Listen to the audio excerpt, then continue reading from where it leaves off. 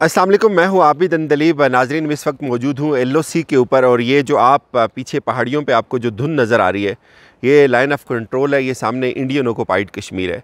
और एलओसी के ऊपर जनरल बाजवा ने भी ईद अदा की और बहुत ज़्यादा तनकीद, बहुत ज़्यादा रद्दमल आ रहा है आवाम की जानब से। इसके ऊपर बात करेंगे। साथ साथ आपको ये भी बताएँगे कि क्या हालात हैं इस वक्त कश्मीर के। बहुत ज़्यादा ज़रूरी आपका ये जानना, ये जो इम्पोर्टेड हुकूमत आई है, उसके बाद हालात क्या हैं? कश्मीर के अंदर और ख़ास तौर पे वैली के अंदर जो कुछ कल हमें देखने को मिला और अफसोस ये है कि उसके ऊपर जो हुकूमत है वो खामोश रही। ये जो बादल हैं आपको ये सारे एलओसी के ऊपर बिल्कुल मौजूद हूँ मैं और ये जो आपको धुन नज़र आ रही है ये पहाड़ियाँ ये सारे उनके मोर्चे कैमरा शायद इस तरह से कवर नहीं कर पाएगा आ, लेकिन ये बहुत वाज तौर पर यहाँ से देखे जा सकते हैं। इस तरफ़ भी आपको ये जो पहाड़ियाँ नज़र आ रही हैं जिनके ऊपर बर्फ़ पड़ी हुई है आ, पीछे धुंध है आ, ये तमाम इस वक्त एलओसी की बाउंड्री है। और यहाँ से आपसे बात करने का बेसिकली मतलब ये है कि यहाँ भी जनरल बाजवा कल आए उन्होंने भी एलओसी के ऊपर ईद की। आ, इस वक्त जो सूरत हाल है वो अवामी रद्दमल में बहुत सख्त इजाफ़ा हो रहा है।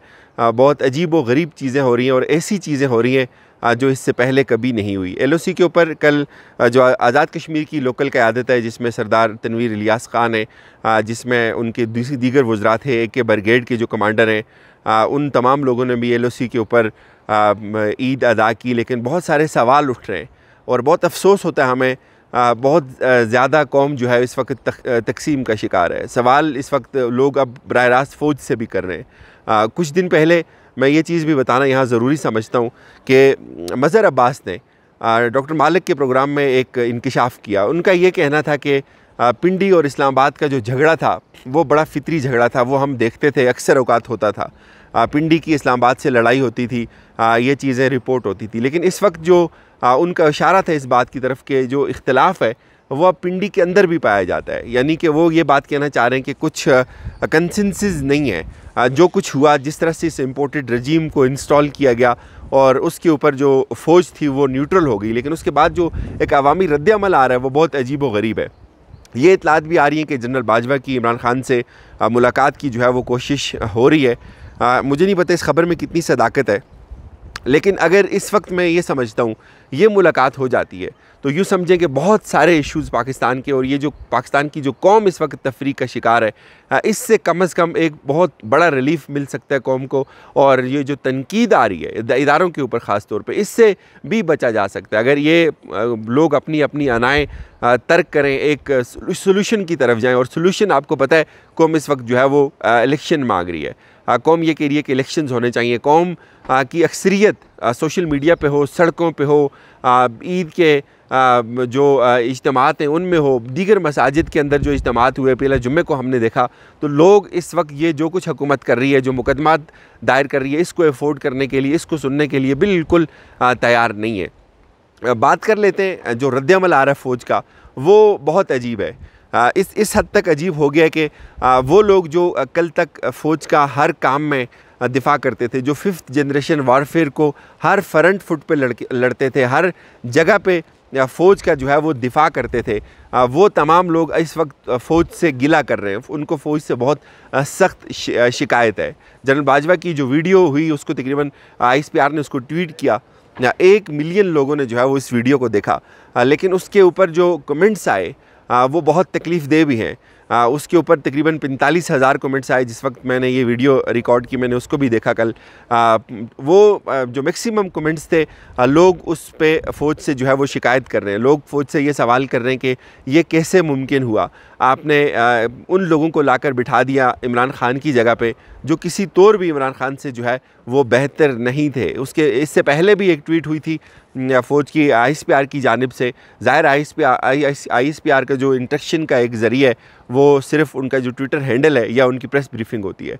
और ट्विटर हैंडल पे बहुत ज़्यादा लोग उनसे इस दफ़ा बर रास्त सवाल कर रहे हैं। बहुत ज़्यादा लोग अपने दुख का इजहार कर रहे हैं। जो 9 अप्रैल की ट्वीट हुई थी, उसको, उसके ऊपर भी तकरीबन एक लाख नौ हज़ार रिप्लाइज आए हैं, जो रूटीन में ऐसा नहीं होता। रूटीन में इतनी ज़्यादा तन जवाब नहीं आते इनको। लेकिन इस दफ़ा जो जवाब आ रहे हैं पहले लोग फ़ौज से बड़ी मोहब्बत करते थे। फ़ौज से एक जुनून की हद तक, रोमांस की हद तक एक इश्क था।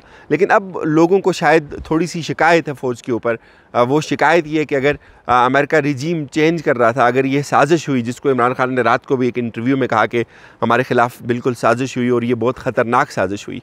तो उसमें लोग ये सवाल कर रहे हैं कि अगर ये साजिश हुई तो साजिश का जो साजिश से जिसने निमटना था वो इदारे थे तो इदारे उसके ऊपर क्यों खामोश रहे? इदारों को साजिश को नाकाम बनाना चाहिए था, फ़ौज को इमरान खान का साथ देना चाहिए था। और ये जो लोग ऊपर आकर बैठे हैं, ये किसी तौर भी इमरान खान से बेहतर लोग नहीं हैं। ये सूरत हाल इससे पहले कभी भी नहीं हुई थी कि इस दर्जे की तनकीद होगी और इस तरह से होगी। देखें, ये एक इख्तलाफ की फ़ौज की और आवाम के दरमियान इख्तलाफ की वो स्टेज आ गई है जो इससे पहले कभी नहीं हुई और इसके लिए शायद हिंदुस्तान ने कितना अर, कितने अरब रुपए लगाए होंगे।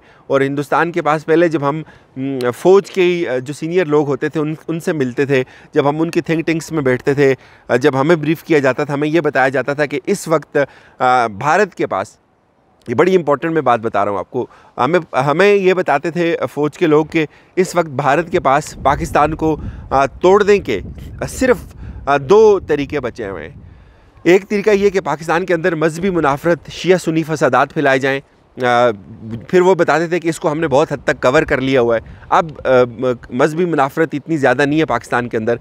और फिर वो जो दूसरी चीज़ बताते थे, वो ये बताते थे कि जो तीस जब दूसरा और आखिरी हथियार होगा जो दुश्मन है, जो हिंदुस्तान है, उसके पास वो पाकिस्तान की आवाम और पाकिस्तान की फ़ौज के दरमियान जो है वो एक खलीज को, नफ़रत को अदम अतमाद को। और इस तरह की जो एक सूरत हाल जिस वक्त अब पैदा हुई हुई है, इस सूरत हाल को पैदा करना होगा। ये हिंदुस्तान के लिए एक बहुत बड़ी विन विन सिचुएशन होगी। तो इस वक्त बिल्कुल एग्जैक्टली अगर मैं आपको ये कहूँ कि वो सिचुएशन है, या हम उसके बिल्कुल करीब तरीन पहुँच चुके हैं तो ये बिल्कुल गलत ना होगा। इस वक्त जो कौम के अंदर एक तकलीफ़ है, जो रंज है, जो गिला है, वो ओपनली लोग उसको एक्सप्रेस कर रहे हैं। पहले जो चीज़ें शायद निजी महफ़लों के अंदर होती थी, जो घर के अंदर होती थी, जो प्राइवेट होती थी वो इस वक्त अब बर रास्त ट्विटर के ऊपर हो रही हैं और इस तरह से हो रही हैं कि लोग बर रास्त टेक कर रहे हैं। पहले श्री मज़ारी साहिबा ने ट्वीट किया, उसमें भी उन्होंने उन्होंने फ़ौज से टेक करके कहा कि अब आप बताएँ कि ये साजिश नहीं है। जब वो एक अमेरिकन एनालिस्ट थी, उनकी जानब से जो है वो एक तजिया आया, उनकी जो वीडियो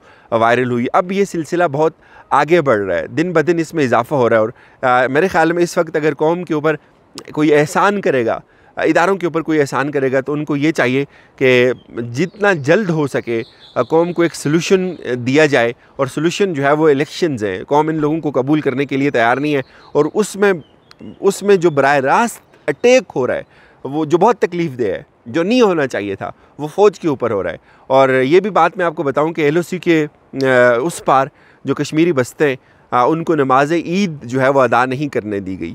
ये एक भिखारी हुकूमत का इसके ऊपर खामोश रहना समझ से बाहर है। इससे ऐसे पहले कभी नहीं हुआ। अब एलओसी के ऊपर भी लोगों को इमरान खान की कदर आती है कि कश्मीर के अंदर कोई भी हलचल होती थी तो वो इसके ऊपर बात करता था, वो इसके ऊपर बोलता था। लेकिन अब ये अनफॉर्चुनेट है। कल जो कुछ हुआ हमने देखा, बहुत सारी मसाजिद के अंदर जो मनाजर हमने देखे, वो बहुत तकलीफ़ दे थे और उससे भी ज़्यादा तकलीफ़ इस चीज़ के ऊपर होती है कि किस तरह ये जो भिखारियों का टोला है, इसके ऊपर खामोश है। एलओसी से आपको दीगर चीज़ें भी इन आगाह करते रहेंगे। बहुत सारी डेवलपिंग सूरत हाल यहाँ भी पैदा हो रही है, सूरत हाल डेवलप होती है। और फ़िल वक्त हमें इजाज़त दीजिए, अपना ख्याल रखिएगा। खुदा हाफिज़।